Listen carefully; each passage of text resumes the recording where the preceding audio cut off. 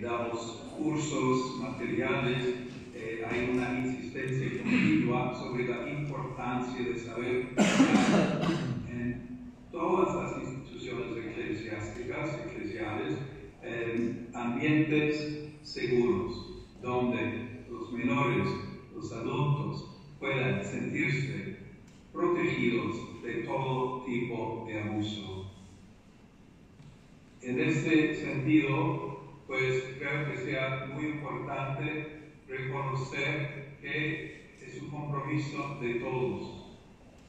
los representantes de Caritas, los obispos, todos los agentes de pastoral,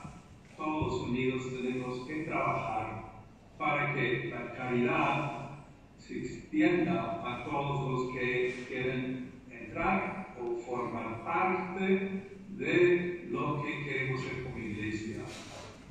A los miembros de la iglesia, a las personas servimos. En todo ambiente es importante saber crear estos ambientes eclesiásticos seguros. Y comparto con todos ustedes el desiderio de que este curso, estos días de reflexión, de diálogo, también de aprendizaje, puedan servir en todos los caretas, todas las instituciones representadas en este curso, eh, para que seamos todos de verdad promotores de, de la protección de, de todas las personas. Cito de nuevo a nuestro querido Papa Francisco, que dice, Caritas es la mano amorosa de la Iglesia en todo el mundo, para los pobres y los más vulnerables, Y también entonces en ese sentido de este curso tenemos que seguir buscando siempre cómo proteger